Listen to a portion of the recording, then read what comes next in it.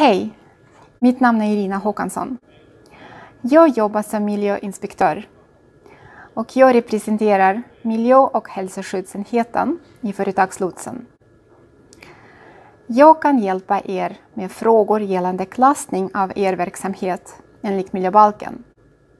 Så har du frågor om en planerad verksamhet eller en ändring av en redan befintlig verksamhet, tveka inte, ta kontakt med oss så ska vi försöka hjälpa dig rätt.